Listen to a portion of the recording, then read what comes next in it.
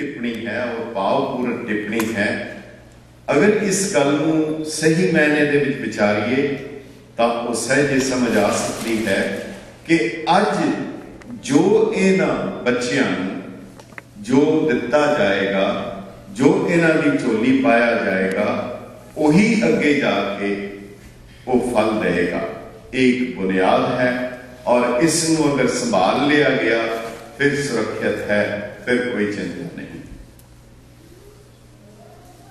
ਹੁਣ ਗੱਲ ਕਰੀਏ ਸਾਹਿਬ ਸ੍ਰੀ ਗੁਰੂ ਗ੍ਰੰਥ ਸਾਹਿਬ ਜੀ ਮਹਾਰਾਜ ਦੇ ਪਾਵਨ ਗੁਰਤਾ ਗੱਦੀ। ਦੁਨੀਆ ਦੇ ਵਿੱਚ ਕਈ ਮਜ਼ਹਬ ਹਨ, ਕਈ ਧਰਮ ਹਨ, ਜਿਹੜੇ ਕਿ ਅਹਲੇ ਕਿਤਾਬ ਹਨ, ਜਿਹੜੇ ਕਿਤਾਬੀਆ ਮਜ਼ਹਬ ਹਨ, ਜਿਨ੍ਹਾਂ ਨੂੰ ਕਿਹਾ ਜਾਂਦਾ ਹੈ, ਉਹਨਾਂ ਦੇ ਵਿੱਚ ਇਸਲਾਮ, ਈਸਾਈਅਤ, ਜੂਡਾਇਜ਼ਮ ਔਰ ਸਿੱਖ ਧਰਮ ਹੈ। ਪਰ ਉਸ ਗ੍ਰੰਥ ਨੂੰ ਬਾਈਬਲ ਦਾ ਜਿਹੜਾ ਸ਼ਬਦਿਕ ਅਰਥ ਹੁੰਦਾ ਹੈ, ਡਿਕਸ਼ਨਰੀ ਮੀਨਿੰਗ ਦੀ ਬੁੱਕ ਹੁੰਦਾ ਹੈ, ਤੇ ਗ੍ਰੰਥ ਦਾ ਵੀ ਅਰਥ ਉਹੀ ਹੁੰਦਾ ਹੈ। ਪਰ ਇੱਕ ਗੱਲ ਬੜੀ ਅਜੀਬ ਹੈ ਔਰ ਬੜੀ ਹੀ ਵਿਚਿੱਤਰ ਗੱਲ ਹੈ ਕਿ ਗੁਰੂ ਗ੍ਰੰਥ ਸਾਹਿਬ ਨੂੰ ਕੇਵਲ ਗ੍ਰੰਥ ਨਹੀਂ ਕਿਹਾ ਗਿਆ। ਕੇਵਲ ਇਸ ਨੂੰ ਇੱਕ ਕਿਤਾਬ ਨਹੀਂ ਕਿਹਾ ਗਿਆ। ਤੁਹਾਡੇ ਲਈ ਹੈਰਾਨੀ ਹੋਏਗੀ ਸੁਣ ਕੇ, ਜਾਂ ਬਹੁਤਿਆਂ ਨੂੰ ਪਤਾ ਵੀ ਹੋਏਗਾ ਕਿ ਭਾਰਤ ਦੀ ਸਰਵੋੱਚ ਅਦਾਲਤ ਨੇ ਸੁਪਰੀਮ ਕੋਰਟ ਆਫ ਇੰਡੀਆ ਨੇ ਇਹ ਇੱਕ ਤੈਅ ਕੀਤਾ ਹੈ, ਕਾਨੂੰਨ ਬਣਾਇਆ ਹੈ ਕਿ Guru Granth Sahib is a living book ਕਿਸੇ ਹੋਰ ਧਾਰਮਿਕ ਪੁਸਤਕ ਬਾਰੇ, ਕਿਸੇ ਹੋਰ ਧਾਰਮਿਕ ਗ੍ਰੰਥ ਦੇ ਬਾਰੇ ਇਹ ਲਫ਼ਜ਼ ਨਹੀਂ ਵਰਤਿਆ ਗਿਆ ਕਿ ਇਹ ਜੀਵਤ ਗੁਰੂ ਹੈ। ਪਰ ਭਾਰਤ ਦੀ ਸਰਵੋੱਚ ਅਦਾਲਤ ਦੇ ਵੱਲੋਂ ਇਹ ਨਿਰਣਾ ਦਿੱਤਾ ਗਿਆ ਹੈ ਕਿ ਸਾਹਿਬ ਸ੍ਰੀ ਗੁਰੂ ਗ੍ਰੰਥ ਸਾਹਿਬ ਇੱਕ ਲਿਵਿੰਗ ਗੁਰੂ ਹੈ। ਅਸੀਂ ਜਦੋਂ ਗੱਲ ਕਰਦੇ ਹਾਂ, ਇਹ ਕਹਿੰਦੇ ਹਾਂ, ਦਸਾਂ ਪਾਤਸ਼ਾਹੀਆਂ ਦੀ ਆਤਮਿਕ ਜੋਤ ਗੁਰੂ ਗ੍ਰੰਥ ਸਾਹਿਬ। ਕੀ ਕੋਈ ਕਿਤਾਬ ਵੀ ਲਿਵਿੰਗ ਹੋ ਸਕਦੀ ਹੈ? ਕੀ ਕੋਈ ਗ੍ਰੰਥ ਵੀ ਜੋਤ ਨੂੰ ਆਪਣੇ ਅੰਦਰ ਰੱਖ ਸਕਦਾ ਹੈ? ਕੀ ਦੁਨਿਆਵੀ ਤੌਰ ਤੇ ਕਿਸੇ ਗ੍ਰੰਥ ਦੇ ਵਿੱਚ ਕਿਸੇ ਦੀ ਜੋਤ ਸਥਾਪਿਤ ਕੀਤੀ ਜਾ ਸਕਦੀ ਹੈ?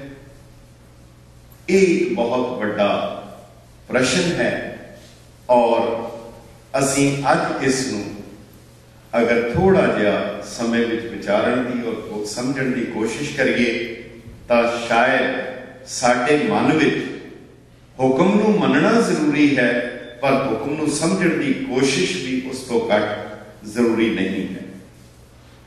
ਜਦੋਂ ਗੁਰੂ ਗ੍ਰੰਥ ਸਾਹਿਬ ਨੂੰ ਦਸਾਂ ਪਾਤਸ਼ਾਹੀਆਂ ਦੀ ਜੋਤ ਕਿਹਾ ਜਾਂਦਾ ਹੈ, ਸਿੱਖ ਰਹਿਤ ਮਰਿਆਦਾ ਦੇ ਵਿੱਚ ਵੀ ਇਹ ਲਫ਼ਜ਼ ਅੰਕਿਤ ਹੈ, ਤਾਂ ਕੀ ਇਹ ਸ਼ਬਦ ਕੇਵਲ ਕਹਿਣ ਮਾਤਰ ਨੂੰ ਹੈ? ਕੀ ਕੇਵਲ ਇਹ ਅੱਖਰ ਮਾਤਰ ਹਨ? ਖਾਲੀ ਲਫ਼ਜ਼ੀ ਗੱਲ ਹੈ ਜਾਂ ਇਸ ਦੇ ਅੰਦਰ ਕੋਈ ਸਿਧਾਂਤ ਲੁਕਿਆ ਹੋਇਆ ਹੈ? ਪ੍ਰਾਤਨ ਜਨਮ ਸਾਖੀ ਦੇ ਵਿੱਚ ਇੱਕ ਬਹੁਤ ਛੋਟਾ ਜਿਹਾ ਉਦਾਹਰਣ ਅੰਕਿਤ ਹੈ। ਜਿਸ ਵੇਲੇ ਬੇਬੇ ਨਾਨਕੀ ਗੁਰੂ ਨਾਨਕ ਸਾਹਿਬ ਦੇ ਵੱਡੇ ਭੈਣ ਜੀ ਜਦੋਂ ਉਹਨਾਂ ਦਾ ਵਿਆਹ ਹੋਇਆ, ਤਾਂ ਪਹਿਲੀ ਵਾਰ ਜਦੋਂ ਭਾਈਆ ਜੈਰਾਮ ਜੀ ਉਹਨਾਂ ਦੇ ਘਰ ਵਾਲੇ, ਉਹਨਾਂ ਦੇ ਖਾਮਨ ਜਦੋਂ ਉਹਨਾਂ ਨਾਲ ਮਿਲੇ ਹਨ, ਤਾਂ ਜਨਮ ਦੇ ਕਰਤਾ ਨੇ ਦੋਨਾਂ ਦੀ ਗੱਲਬਾਤ ਭਾਈਆ ਜੈਰਾਮ ਨੇ ਜੋ ਕੁਝ ਬੇਬੇ ਨਾਨਕੀ ਨੂੰ ਕਿਹਾ, ਉਹ ਲਫ਼ਜ਼ ਸੁਣਨ ਮਾਤਰ ਹਨ ਪੜਨ ਮਾਤਰ ਹਨ, ਕਾਬਿਲੇ ਸ਼ਨੀਦ ਹਨ। ਭਾਈ ਜੈਰਾਮ ਕਹਿਣ ਲੱਗੇ, ਨਾਨਕੀ, ਉਹ ਜਗ੍ਹਾ ਧਨ ਹੈ ਜਿੱਥੇ ਨਾਨਕ ਜੰਮਿਆ ਹੈ। ਨਾਨਕੀ, ਉਹ ਮਾਤਾ ਪਿਤਾ ਧਨ ਹਨ ਜਿਨ੍ਹਾਂ ਨੂੰ ਨਾਨਕ ਵਰਗਾ ਪੁੱਤਰ ਮਿਲਿਆ ਹੈ। ਨਾਨਕੀ, ਉਹ ਦੋਸਤ ਮਿੱਤਰ ਧਨ ਹਨ ਜਿਨ੍ਹਾਂ ਨੂੰ ਨਾਨਕ ਵਰਗਾ ਯਾਰ ਮਿਲਿਆ ਹੈ। ਨਾਨਕੀ, ਤੂੰ ਧਨ ਹੈ ਕਿ ਤੈਨੂੰ ਨਾਨਕ ਵਰਗਾ ਵੀਰ ਮਿਲਿਆ ਹੈ। ਤੇ ਥੋੜੇ ਥੋੜੇ ਅਸੀਂ ਵੀ ਧੰਨ ਹਾਂ ਕਿ ਤੇਰੇ ਰਾਹੀਂ ਸਾਡਾ ਨਾਨਕ ਨਾਲ ਰਿਸ਼ਤਾ ਜੁੜਿਆ। ਗੁਰੂ ਨਾਨਕ ਸਾਹਿਬ ਸਾਹਿਬ ਸ੍ਰੀ ਗੁਰੂ ਨਾਨਕ ਦੇਵ ਜੀ ਦੇ ਬਾਰੇ ਇਹ ਲਫ਼ਜ਼ ਜਦੋਂ ਭਾਈਆ ਜੈਰਾਮ ਜੀ ਕਹਿ ਰਹੇ ਹਨ, ਤਾਂ ਕੀ ਫਿਰ ਅਸੀਂ ਵੀ ਧੰਨ ਨਹੀਂ ਹਾਂ ਕਿ ਸਾਨੂੰ ਗੁਰੂ ਨਾਨਕ ਸਾਹਿਬ ਵਰਗਾ ਗੁਰੂ ਪ੍ਰਾਪਤ ਹੋਇਆ? ਮੋਸਨ ਫਾਨੀ ਇੱਕ ਇਤਿਹਾਸਕਾਰ ਹੋਇਆ ਹੈ, ਜਿਸ ਦੀ ਕਿਤਾਬ ਦਾ ਨਾਮ ਹੈ ਦਬਿਸਤਾਨੇ ਮਜ਼ਾਹਿਬ।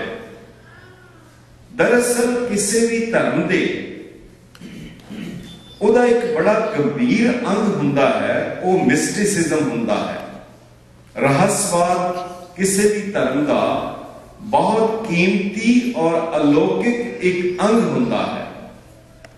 ਹਰ ਗੱਲ ਨੂੰ 2 ਜਮਾ 2 4 ਦੇ ਫਾਰਮੂਲੇ ਨਾਲ ਨਹੀਂ ਨਾਪਿਆ ਜਾ ਸਕਦਾ। ਦੁਨੀਆ ਦੀ ਕੋਈ ਫਿਲਾਸਫੀ ਕੋਈ ਸਾਇੰਸ ਕੋਈ ਦਲੀਲ ਇਹ ਨਹੀਂ ਕਹਿ ਸਕਦੀ, ਦੱਸ ਸਕਦੀ ਕਿ ਗੁਰੂ ਸਾਡਾ ਜਨਮ ਮਰਨ ਕਿਸ ਤਰ੍ਹਾਂ ਨਿਵਾਰ ਸਕਦਾ ਹੈ। ਅਸੀਂ ਅਰਦਾਸ ਕਰਦੇ ਹਾਂ, ਸਤਿਗੁਰੂ ਸਾਡਾ ਜਨਮ ਮਰਨ ਨਿਵਾਰ ਦੇ। ਜੇਕਰ ਇਹ ਗੱਲ ਸਾਇੰਸ ਦਾ ਕੋਈ ਸਿਧਾਂਤ ਨਹੀਂ ਇਸ ਗੱਲ ਨੂੰ ਸਾਬਤ ਕਰ ਸਕਦਾ ਕਿ ਕੋਈ ਤਾਕਤ ਕਿਸੇ ਦੇ ਜਨਮ ਮਰਨ ਨੂੰ ਦੂਰ ਕਰ ਸਕਦੀ ਹੈ। ਅਸੀਂ ਅਰਦਾਸ ਕਰਦੇ ਹਾਂ, ਜੇਕਰ ਵਾਹਿਗੁਰੂ ਨਿਰਾਕਾਰ ਹੈ, ਤਾਂ ਨਿਰਾਕਾਰ ਤੱਕ ਸਾਡੀ ਆਵਾਜ਼, ਸਾਡੇ ਅਲਫਾਜ਼, ਸਾਡੀ ਗੱਲਬਾਤ, ਸਾਡੀ ਜੋਦੜੀ, ਸਾਡੀ ਬੇਨਤੀ ਉਹ ਕਿਸ ਤਰ੍ਹਾਂ ਪਹੁੰਚ ਸਕਦੀ ਹੈ? ਜੇ ਉਹ ਨਿਰਾਕਾਰ ਹੈ, ਕੋਈ ਸਾਇੰਸ ਦਾ ਸਿਧਾਂਤ ਇਸ ਗੱਲ ਨੂੰ ਨਹੀਂ ਦੇ ਦੱਸ ਸਕਦਾ। ਇਹ ਜੋ ਮਿਸਟਿਸਿਜ਼ਮ ਹੈ, ਰਹੱਸਵਾਦ ਹੈ ਮੌਸਰ ਪਾਨੀ ਨੇ, ਤਬਿਸਤਾਨੇ ਮਜ਼ਾਹਬ ਦੇ ਵਿੱਚ ਇਸ ਗੱਲ ਦਾ ਬਹੁਤ ਹੀ ਕਮਾਲ ਦੇ ਤਰੀਕੇ ਨਾਲ ਉਸਨੇ ਜ਼ਿਕਰ ਕੀਤਾ ਗੱਲ ਜੋ ਕਿ ਸਾਹਿਬ ਸ੍ਰੀ ਗੁਰੂ ਗ੍ਰੰਥ ਸਾਹਿਬ ਦੀ ਹੈ, ਜਿਹੜੀ ਕਿ ਜੋਤ ਗੁਰੂ ਨਾਨਕ ਸਾਹਿਬ ਦੀ ਜੋਤ ਹੈ। 10 ਜਾਮਿਆਂ ਦੇ ਵਿੱਚੋਂ ਹੁੰਦੀ ਹੋਈ ਉਹ ਜੋਤ ਸਾਹਿਬ ਸ੍ਰੀ ਗੁਰੂ ਗ੍ਰੰਥ ਸਾਹਿਬ ਜੀ ਵਿੱਚ ਸਥਾਪਿਤ ਹੋਈ ਹੈ। ਅਸੀਂ ਗੱਲ ਗੁਰੂ ਨਾਨਕ ਸਾਹਿਬ ਦੀ ਕਰਨੀ ਹੈ। ਸਮਝਣ ਦੀ ਕੋਸ਼ਿਸ਼ ਕਰੀਏ ਕਿ ਗੁਰੂ ਨਾਨਕ ਸਾਹਿਬ ਕੌਣ ਹਨ, ਕੀ ਹਨ ਤੇ ਕਿਹੜਾ ਸੁਨੇਹਾ ਲੈ ਕੇ ਆਏ ਹਨ ਔਰ ਕਿਸ ਤਰੀਕੇ ਦੇ ਨਾਲ ਇੱਥੇ ਆਏ ਹਨ। ਜੇਕਰ ਸਾਨੂੰ ਗੁਰੂ ਨਾਨਕ ਸਾਹਿਬ ਦੇ ਉਹ ਅਲੌਕਿਕ ਦੀਦਾਰ ਦੀ ਕੋਈ ਝਲਕ ਮਿਲ ਜਾਏ ਤਾਂ ਸ਼ਾਇਦ ਸਾਨੂੰ ਗੁਰੂ ਗ੍ਰੰਥ ਸਾਹਿਬ ਦੇ ਵਿੱਚੋਂ ਉਹ ਚਲਕਾਰਾ ਵੀ ਪ੍ਰਾਪਤ ਹੋ ਸਕਦਾ ਹੈ। ਦਬਿਸਤਾਨ ਦਾ ਮਜ਼ਾਹਬ ਦਬਿਸਤਾਨੀ ਮਜ਼ਾਹਬ ਦਾ ਲਿਖਾਰੀ ਮੋਸਨ ਫਾਨੀ ਕਹਿੰਦਾ ਹੈ ਕਿ ਪਿਛਲੇ ਜਨਮ ਦੇ ਵਿੱਚ ਗੁਰੂ ਨਾਨਕ ਸਾਹਿਬ ਨੇ ਬਹੁਤ ਤਪੱਸਿਆ ਕੀਤੀ। ਭਾਰਤ ਸਰਕਾਰ ਨੇ ਕਿਤਾਬ ਛਾਪੀ 500 ਸਾਲਾਂ ਦੇ ਗੁਰੂ ਨਾਨਕ ਸਾਹਿਬ ਦੇ ਪ੍ਰਕਾਸ਼ ਦਿਵਸ ਤੇ ਔਰ ਉਸ ਕਿਤਾਬ ਦੇ ਵਿੱਚ ਉਸ ਮੌਸਮ ਪਾਣੀ ਦਾ ਲੇਖ, ਜਿਹੜਾ ਤਕਰੀਬਨ ਤਕਰੀਬਨ ਜਹਾਂਗੀਰ ਦੇ ਵੇਲੇ ਗੁਰੂ ਹਰਗੋਬਿੰਦ ਸਾਹਿਬ ਦੇ ਵੇਲੇ ਹੋਇਆ ਹੈ, ਉਸ ਇਤਿਹਾਸਕਾਰ ਦਾ ਉਹ ਲੇਖ ਭਾਰਤ ਸਰਕਾਰ ਨੇ ਛਾਪਿਆ, ਜਿਹਦਾ ਟਾਈਟਲ ਸੀ ਵਚਿੱਤਰ ਗੁਰੂ ਨਾਨਕ। ਵਚਿੱਤਰ ਗੁਰੂ ਨਾਨਕ ਦੇ ਨਾਮ ਥੱਲੇ, ਸਿਰਲੇਖ ਥੱਲੇ ਉਹ ਲੇਖ ਛਾਪਿਆ ਗਿਆ। ਉਹ ਕਹਿੰਦਾ ਹੈ ਕਿ ਪਿਛਲੇ ਜਨਮ ਦੇ ਵਿੱਚ ਗੁਰੂ ਨਾਨਕ ਸਾਹਿਬ ਨੇ ਬਹੁਤ ਤਪੱਸਿਆ ਕੀਤੀ। ਬਹੁਤ ਤਪੱਸਿਆ ਕੀਤੀ। ਜਿਸ ਗੱਲ ਨੂੰ ਭਾਈ ਗੁਰਦਾਸ ਜੀ ਕਹਿੰਦੇ ਹਨ, ਭਾਰੀ ਕਰੀ ਤਪੱਸਿਆ, ਵੱਡੇ ਭਾਗ ਹਰ ਸਿਓ ਬਣਾਈ ਭਾਰੀ ਤਪੱਸਿਆ ਕੀਤੀ। ਜੇ ਗੁਰੂ ਗੋਬਿੰਦ ਸਿੰਘ ਸਾਹਿਬ ਵੀ ਆਪਣੇ ਬਾਰੇ ਕਹਿੰਦੇ ਹਨ ਉਹ ਵੀ ਬਿਲਕੁਲ ਹੂ ਬਹੂ ਇਹੀ ਲਫ਼ਜ਼ ਵਰਤੇ ਹਨ ਤੇ ਹਮ ਅਦਕ ਤਪੱਸਿਆ ਸਾਧੀ। ਅਦਕ ਤਪੱਸਿਆ ਤੇ ਭਾਰੀ ਕਰੀ ਤਪੱਸਿਆ ਵਿੱਚ ਕੋਈ ਫ਼ਰਕ ਨਹੀਂ ਹੈ। ਆਮ ਤੌਰ ਦੇ ਉੱਤੇ ਕੋਈ ਵੀ ਇਨਸਾਨ ਤਪ ਕਰਦਾ ਹੈ, ਸਿਮਰਨ ਕਰਦਾ ਹੈ ਆਰਾਧਨਾ ਕਰਦਾ ਹੈ, ਉਹਦਾ ਨਿਸ਼ਾਨਾ ਹੁੰਦਾ ਹੈ, ਪ੍ਰਾਪਤ ਹੋ ਜਾਏ। ਹਰ ਇਨਸਾਨ ਦੀ ਮੰਗ ਹੁੰਦੀ ਹੈ ਮੰਗ ਛੋਟੀ ਹੋ ਸਕਦੀ ਹੈ, ਮੰਗ ਵੱਡੀ ਹੋ ਸਕਦੀ ਹੈ। ਹਰ ਦੁਨਿਆਵੀ ਇਨਸਾਨ ਦੀ ਮੰਗ ਆਪਣੇ ਉਸ ਦੇ ਲੈਵਲ ਦੀ ਹੋਏਗੀ। ਸਾਡੀ ਮੰਗ ਛੋਟੇ ਛੋਟੇ ਖਿਡੌਣਿਆਂ ਤੱਕ ਛੋਟੇ ਛੋਟੇ ਨਿੱਕੀਆਂ ਨਿੱਕੀਆਂ ਚੀਜ਼ਾਂ ਤੱਕ ਹੋਏਗੀ, ਕਿਉਂਕਿ ਸਾਡੀ ਸਮਝ ਦਾ ਦਾਇਰਾ ਉੱਥੇ ਤੱਕ ਹੈ। ਪਰ ਨਿਸ਼ਕਾਮ ਨਹੀਂ ਹੈ। ਦੁਨੀਆ ਦੇ ਕੋਈ ਇਨਸਾਨ ਐਸਾ ਨਹੀਂ ਹੈ ਜਿਸ ਦੀ ਆਰਾਧਨਾ ਜਿਸ ਦੀ ਤਪੱਸਿਆ ਉਹ ਬਿਨਾ ਕਾਮਨਾ ਦੇ ਹੋਏ। ਜਿਹੜਾ ਬਹੁਤ ਉੱਚੀ ਅਵਸਥਾ ਤੇ ਪਹੁੰਚ ਗਿਆ ਉਸ ਦੀ ਮੰਗ ਬਦਲ ਜਾਏਗੀ ਉਸ ਦੀ ਮੰਗ ਵਾਹਿਗੁਰੂ ਪ੍ਰਾਪਤ ਹੋ ਜਾਏ, ਉਹ ਜ਼ਿਆਦਾ ਸਿਆਣਾ। ਉਹ ਜ਼ਿਆਦਾ ਸਮਝਦਾਰ ਹੈ, ਪਰ ਉਸ ਦੀ ਮੰਗ ਵੀ ਨਿਸ਼ਕਾਮ ਨਹੀਂ ਹੈ। ਬਿਨਾ ਕਾਮਨਾ ਦੇ ਨਹੀਂ ਹੈ। ਤਪੱਸਿਆ ਕੀਤੀ ਜਾਂਦੀ ਹੈ, ਕਾਮਨਾ ਕੀਤੀ ਜਾਂਦੀ ਹੈ ਮੰਜ਼ਿਲ ਮਿਲ ਜਾਂਦੀ ਹੈ, ਉਹਦੇ ਬਾਅਦ ਗੱਲ ਪੂਰੀ ਹੋ ਜਾਂਦੀ ਹੈ। ਪਰ ਗੁਰੂ ਨਾਨਕ ਸਾਹਿਬ ਇੱਕ ਵਿਚਿੱਤਰ ਹਸਤੀ ਹੈ। ਦਬਿਸਤਾਨ ਦੇ ਮੁਤਾਬਕ ਗੁਰੂ ਨਾਨਕ ਸਾਹਿਬ ਨੇ ਬਹੁਤ ਤਪੱਸਿਆ ਕੀਤੀ ਔਰ ਉਹਨਾਂ ਦੀ ਤਪੱਸਿਆ ਪੂਰੀ ਹੋ ਗਈ। ਰੱਬ ਦੇ ਸਨਮੁਖ ਹੋਏ, ਰੱਬ ਨੇ ਗੁਰੂ ਨਾਨਕ ਸਾਹਿਬ ਨੂੰ ਕਿਹਾ, ਨਾਨਕ, ਇਹ ਤੇਰਾ ਰਸਤਾ ਹੈ, ਮੁਕਤੀ ਦਾ ਰਸਤਾ ਹੈ ਜਮਾਂ ਦੀ ਮਾਰ ਤੋਂ ਮੁਕਤ ਹੋਣ ਦਾ ਰਸਤਾ ਹੈ, ਜਨਮ ਮਰਨ ਤੋਂ ਮੁਕਤ ਹੋਣ ਦਾ ਰਸਤਾ ਹੈ। ਜਨਮ ਮਰਨ ਤੋਂ ਮੁਕਤ ਹੋਣਾ ਹੀ ਜਮਾਂ ਦੀ ਮਾਰ ਤੋਂ ਮੁਕਤ ਹੋਣਾ ਹੈ, ਨਹੀਂ ਜਮਣਾ ਹੀ ਮੁਕਤੀ ਦਾ ਰਸਤਾ ਹੈ। ਉਹ ਕਹਿੰਦਾ ਇੱਕ ਅਜੀਬ ਘਟਨਾ ਵਾਪਰੀ। ਸਾਹਿਬ ਸ੍ਰੀ ਗੁਰੂ ਨਾਨਕ ਦੇਵ ਜੀ ਮਹਾਰਾਜ ਦੂਸਰੇ ਪਾਸੇ ਤੁਰ ਪਏ, ਜਿਹੜੇ ਪਾਸੇ ਰੂਹਾਂ ਵਿਲਝ ਰਹੀਆਂ ਸੀ, ਤੜਪ ਰਹੀਆਂ ਸੀ, ਕੁਰਲਾ ਰਹੀਆਂ ਸੀ। ਰੱਬ ਨੇ ਕਿਹਾ, ਨਾਨਕ, ਇਹ ਤੇਰਾ ਰਸਤਾ ਨਹੀਂ ਹੈ। ਤੇਰਾ ਰਸਤਾ ਮੁਕਤੀ ਦਾ ਹੈ। ਤੂੰ ਮੁਕਤ ਹੋ ਚੁੱਕਾ ਹੈ। ਗੁਰੂ ਨਾਨਕ ਸਾਹਿਬ ਆਜ਼ਿਜ਼ ਹੋ ਕੇ ਟਹਿ ਪਏ ਔਰ ਅਕਾਲ ਪੁਰਖ ਨੂੰ ਕਹਿਣ ਲੱਗੇ, ਇਹਨਾਂ ਰੂਹਾਂ ਨੂੰ ਵੀ ਬਖਸ਼ ਲਿਆ ਜਾਏ। ਅਕਾਲ ਪੁਰਖ ਨੇ ਕਿਹਾ, ਇਹ ਰੂਹਾਂ ਦੇ ਕਰਮ ਐਸੇ ਹਨ, ਇਹ ਬਖਸ਼ੇ ਨਹੀਂ ਜਾ ਸਕਦੇ। ਜਿਸ ਵੇਲੇ ਇਹ ਗੱਲ ਕਹੀ ਜੇਕਰ ਇਹ ਗੱਲ ਹੋ ਸਕਦੀ, ਉਹ ਕਹਿਣ ਲੱਗੇ, ਰੱਬ ਨੇ ਕਿਹਾ, ਇਹ ਗੱਲ ਨਹੀਂ ਹੋ ਸਕਦੀ। ਕਿਉਂਕਿ ਇਹਨਾਂ ਦੇ ਕਰਮ ਬਹੁਤ ਮਾੜੇ ਹਨ। ਗੁਰੂ ਨਾਨਕ ਪਾਤਸ਼ਾਹ ਆਜ਼ਿਜ਼ ਹੋ ਕੇ ਟਹਿ ਪਏ, ਡਿੱਗ ਪਏ ਔਰ ਬਜ਼ਿੱਦ ਹੋ ਕੇ ਇਹਨਾਂ ਨੂੰ ਜ਼ਰੂਰ ਮੁਕਤ ਕਰੋ। ਉਸ ਵੇਲੇ ਅਕਾਲ ਪੁਰਖ ਨੇ ਹੁਕਮ ਕੀਤਾ ਕਿ ਇੱਕ ਚੀਜ਼ ਹੋ ਸਕਦੀ ਹੈ ਮੁੜ ਕੇ ਇਹਨਾਂ ਰੂਹਾਂ ਨੂੰ ਦੁਬਾਰਾ ਮਨੁੱਖਾ ਜਨਮ ਮਿਲ ਸਕਦਾ ਹੈ, ਇਹ ਸੰਸਾਰ ਦੇ ਉੱਤੇ ਜਾਣ ਔਰ ਅਗਰ ਇਹਨਾਂ ਨੂੰ ਇੱਕ ਮੌਕਾ ਮਿਲੇਗਾ, ਇਹ ਆਪਣਾ ਜਨਮ ਮਰਨ ਦੂਰ ਕਰ ਸਕਦੇ ਉਸ ਵੇਲੇ ਗੁਰੂ ਨਾਨਕ ਸਾਹਿਬ ਨੇ ਇੱਕ ਹੋਰ ਬੇਨਤੀ ਕੀਤੀ ਕਿ ਜੇ ਇਹਨਾਂ ਨੂੰ ਧਰਤੀ ਦੇ ਉੱਤੇ ਭੇਜਣਾ ਹੈ, ਤਾਂ ਇਹਨਾਂ ਦੇ ਨਾਲ ਮੈਨੂੰ ਵੀ ਸੰਸਾਰ ਵਿੱਚ ਭੇਜਿਆ ਜਾਏ। ਜਨਮ ਮਰਨ ਦੋਹੂ ਮੇ ਨਾਹੀ, ਜਨ ਫਲ ਉਪਕਾਰੀ ਆਏ।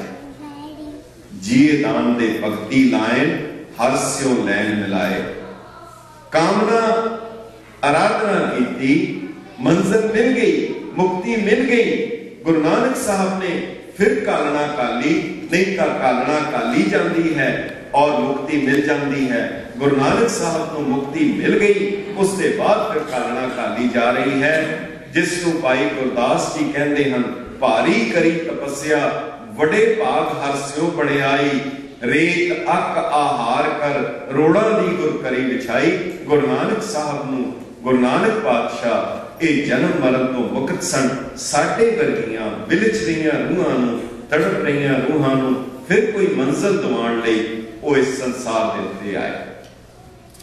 ਇਹ ਇੱਕ ਪਹਿਲਾ ਨੁਕਤਾ ਹੈ। ਗੁਰੂ ਨਾਨਕ ਸਾਹਿਬ ਕੌਣ ਹਨ? ਦੁਨਿਆਵੀ ਤੌਰ ਦੇ ਉੱਤੇ ਕੌਣ ਹਨ? ਔਰ ਰੂਹਾਨੀਅਤ ਦੇ ਤੌਰ ਦੇ ਉੱਤੇ ਕੌਣ ਹਨ? ਇਹ ਦੋ ਧਰਾਤਲ ਹਨ। ਅਸੀਂ ਸੰਸਾਰੀ ਜੀਵ ਹਾਂ। ਸੰਸਾਰਿਕ ਧਰਾਤਲ ਤੇ ਗੁਰੂ ਨਾਨਕ ਸਾਹਿਬ ਕੌਣ ਹਨ? ਗੁਰੂ ਨਾਨਕ ਸਾਹਿਬ ਨੇ ਇਸ ਦਾ ਜਵਾਬ ਖੁਦ ਦਿੱਤਾ ਹੈ। ਉਹ ਕਹਿੰਦੇ ਹਨ, ਕਈਆਂ ਨੇ ਮੈਨੂੰ ਪੂਤਨਾ ਕਿਹਾ। ਕੋਈ ਆਖੇ ਪੂਤਨਾ। ਪੂਤਨਾ ਕੀ ਕਰਦਾ ਹੈ? ਕਿਸੇ ਦਾ ਅਕੀਦਾ ਹੈ, ਕਿਸੇ ਦਾ ਵਿਸ਼ਵਾਸ ਹੈ। ਕਿਸੇ ਦੀ ਕਿਸੇ ਚੀਜ਼ ਦੇ ਉੱਤੇ ਯਕੀਨ ਹੈ, ਉਸ ਦੇ ਵਿੱਚ ਆ ਕੇ ਵਿਗਨ ਪਾ ਦਿੰਦਾ ਹੈ। ਜੇਕਰ ਲੋਕ ਪੂਰਬ ਵੱਲ ਪਾਣੀ ਦੇ ਰਹੇ ਹਨ, ਗੁਰੂ ਸਾਹਿਬ ਪੱਛਮ ਵੱਲ ਦੇਣਾ ਸ਼ੁਰੂ ਕਰ ਦਿੰਦੇ ਹਨ। ਕੋਈ ਅਗਰ ਕਾਬੇ ਵੱਲ ਲੱਤਾਂ ਕਰਕੇ ਲੈ, ਅਗਰ ਉਧਰ ਸਜਦਾ ਕਰ ਰਿਹਾ ਹੈ, ਗੁਰੂ ਨਾਨਕ ਸਾਹਿਬ ਉਸ ਪਾਸੇ ਲੱਤਾਂ ਕਰਕੇ ਸੌ ਜਾਂਦੇ ਹਨ। ਗੁਰੂ ਸਾਹਿਬ ਕਹਿਣ ਲੱਗੇ, ਕਈਆਂ ਨੇ ਮੈਨੂੰ ਪੂਤਨਾ ਕਿਹਾ। ਕੋਈ ਆਖੇ ਪੂਤਨਾ ਕੋ ਕਹੇ ਬੇਤਾਲਾ? ਕਈਆਂ ਨੇ ਗੁਰੂ ਨਾਨਕ ਸਾਹਿਬ ਨੇ ਕਿਹਾ, ਮੈਨੂੰ ਬੇਤਾਲਾ ਸੱਦਿਆ ਹੈ। ਬੇਤਾਲਾ ਕੀ ਹੁੰਦਾ ਹੈ? ਜਿਸ ਨੂੰ ਸੁਰ ਤਾਲ ਦਾ ਨਹੀਂ ਪਤਾ। ਲੋਕ ਕਹਿੰਦੇ ਹਨ ਕਿ ਜਿਹੜੇ ਲੈਪਰਸ ਹਨ ਕੋੜੀ ਹਨ, ਇਹਨਾਂ ਦੇ ਨੇੜੇ ਨਾ ਜਾਓ। ਇਹਨਾਂ ਨੂੰ ਆਸਟਰਸਾਈਜ਼ ਕਰ ਦਿਓ ਪਿੰਡੋਂ ਬਾਹਰ ਕਰ ਦਿਓ ਗੁਰੂ ਨਾਨਕ ਸਾਹਿਬ ਪ੍ਰੇਮੇ ਕੋੜੀ ਦੀ ਝੋਪੜੀ ਵਿੱਚ ਜਾ ਕੇ ਰਾਤ ਬਿਤਾਉਂਦੇ। ਲੋਕ ਕਹਿੰਦੇ ਹਨ ਵੱਡੇ ਬੰਦੇ ਨਾਲ ਕਿੱਦਾਂ ਗੱਲ ਕਰੀਦੀ ਹੈ? ਇਸ ਨੂੰ ਤਾਂ ਸੁਰਤਾਲ ਹੀ ਨਹੀਂ ਹੈ। ਇਹ ਤਾਂ ਬਾਬਰ ਵਰਗੇ ਦੇ ਸਾਹਮਣੇ ਜਾ ਕੇ, ਇਹ ਤਾਂ ਹਾਕਮ ਦੇ ਸਾਹਮਣੇ ਜਾ ਕੇ ਉਸ ਨੂੰ ਕਹਿ ਰਿਹਾ ਹੈ, ਹਰਾਮੀ ਗਰੀਬੋਂ ਕੋ ਮਾਰੇ ਹੋਏ ਹਾਕਮ ਕਹਾਵੇ, ਹਕੂਮਤ ਨਾ ਹੋਏ। ਇਹਨੂੰ ਸੁਰਤਾਲ ਦਾ ਨਹੀਂ ਪਤਾ। ਇਹ ਤਾਂ ਬੇਤਾਲਾ ਹੈ। ਗੁਰੂ ਸਾਹਿਬ ਕਹਿੰਦੇ, ਮੈਨੂੰ ਕਹਿਣ ਲੱਗੇ, ਇਹ ਤਾਂ ਪੂਤਨਾ ਹੈ। ਇਹ ਤਾਂ ਬੇਤਾਲਾ ਹੈ। ਕਈਆਂ ਨੇ ਮੈਨੂੰ ਵਿਚਾਰਾ ਕਿਹਾ ਇਹ ਤਾਂ ਵਿਚਾਰਾ ਸਿੱਧਾ ਸਾਦਾ ਇਹ ਇਹੀ ਕਹਿ ਰਿਹਾ ਹੈ, ਆਦਮੀ ਔਰਤ ਇੱਕੋ ਹਨ। ਕੋਈ ਫ਼ਰਕ ਨਹੀਂ ਹੈ। ਕੋਈ ਵੱਡਾ ਨਹੀਂ, ਕੋਈ ਛੋਟਾ ਨਹੀਂ, ਕੋਈ ਨੀਵਾ ਨਹੀਂ, ਕੋਈ ਉੱਚਾ ਨਹੀਂ, ਕੋਈ ਅਮੀਰ ਨਹੀਂ, ਕੋਈ ਗਰੀਬ ਨਹੀਂ, ਕੋਈ ਸਿਆਣਾ ਨਹੀਂ, ਕੋਈ ਮੂਰਖ ਨਹੀਂ। ਇਹ ਤਾਂ ਸਿੱਧੀਆਂ ਸਾਦੀਆਂ ਗੱਲਾਂ ਕਰ ਰਿਹਾ ਹੈ। ਇਹ ਤਾਂ ਵਿਚਾਰਾ ਹੈ।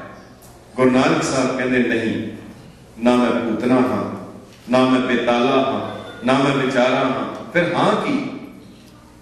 ਹਜ਼ੂਰ ਆਪਣੀ ਜਾਣ ਪਛਾਣ ਖੁਦ ਕਰਾਂਦੇ ਉਹ ਜਾਣ ਪਛਾਣ ਕੀ ਹੈ?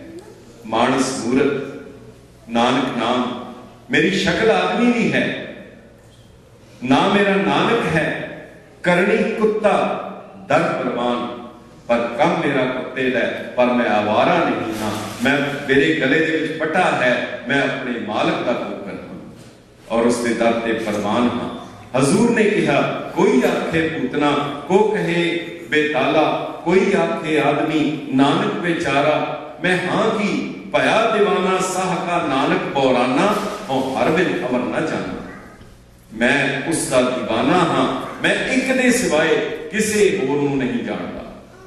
ਇਹ ਗੁਰੂ ਨਾਨਕ ਸਾਹਿਬ, ਆਪਣੀ ਇੰਟਰੋਡਕਸ਼ਨ ਤਾਰਫ ਖਾਸ, ਆਪਣੀ ਜਾਣ ਪਛਾਣ ਕਰਾਉਂਦੇ ਹੁਣ ਗੁਰੂ ਨਾਨਕ ਸਾਹਿਬ ਕੀ ਹਨ?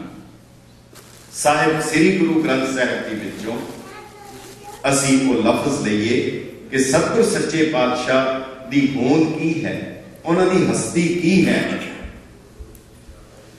ਗੁਰੂ ਗ੍ਰੰਥ ਸਾਹਿਬ ਅਗਵਾਈ ਦੇ ਰਹੇ ਹਨ, ਜੋਤ ਰੂਪ ਹਰ ਆ, ਗੁਰੂ ਨਾਨਕ ਕਹਾਇਓ।